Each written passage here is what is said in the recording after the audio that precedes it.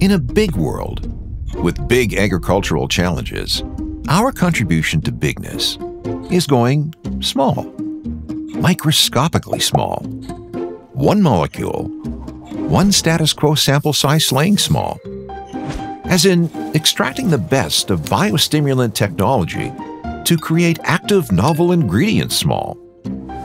And what's promising about molecular small? The moment you perfect it, it gets exponentially big again. As in multinational collaborating to solve agriculture's biggest challenges big, and going even bigger with sustainability, becoming high performance big. Ours is the work of tiny giants, challenging convention by driving science ever deeper for the benefit of plant and planet. It's why we choose to see beyond.